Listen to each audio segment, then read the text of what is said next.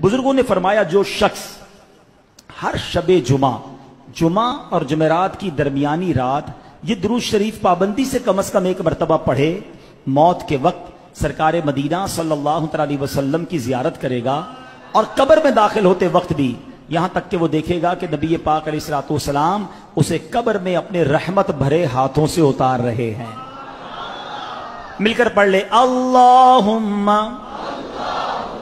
ہیں صلی وسلم وبارک علی سیدنا محمد النبی الامی الحبیب العالی القدر العظیم الجاہ وعلى آله وصحبه وسلم.